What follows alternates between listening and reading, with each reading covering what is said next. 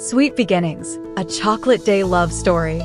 Once upon a time, in the heart of a bustling city, there lived a young woman named Emily.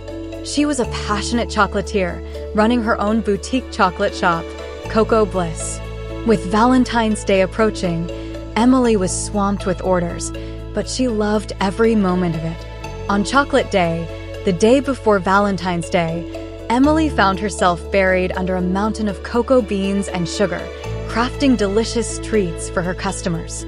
As she meticulously molded each piece of chocolate, she couldn't help but feel a pang of loneliness.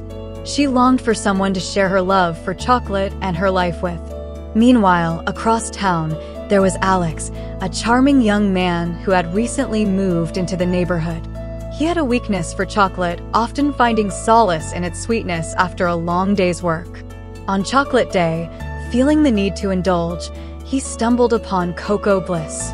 As Alex entered the shop, the scent of cocoa enveloped him, drawing him closer to the source. His eyes landed on Emily, who was busy behind the counter, her hands covered in chocolate. She looked up and smiled warmly at him, and in that moment, Alex felt something stir within him.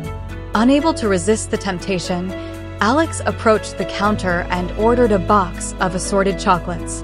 As Emily wrapped them up, their eyes met and a spark ignited between them. Sensing a connection, Emily dared to ask, Are you a chocolate lover? Alex chuckled, Absolutely. Chocolate is my weakness. Their conversation flowed effortlessly as they bonded over their shared love for chocolate.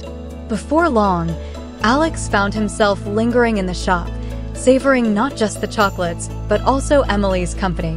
As the day drew to a close, Emily mustered the courage to invite Alex to stay for a tasting of her latest creations. Delighted, Alex accepted, and they spent the evening sampling an array of chocolates, laughing, and getting to know each other better. With each passing moment, their attraction deepened, and by the end of the night, they both knew they had found something special in each other.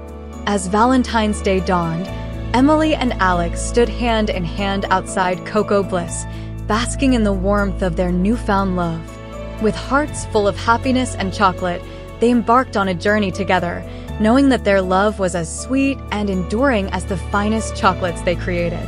And so, on Chocolate Day, amidst the aroma of cocoa and the sweetness of love, Emily and Alex's love story began, a tale as timeless and irresistible as chocolate itself.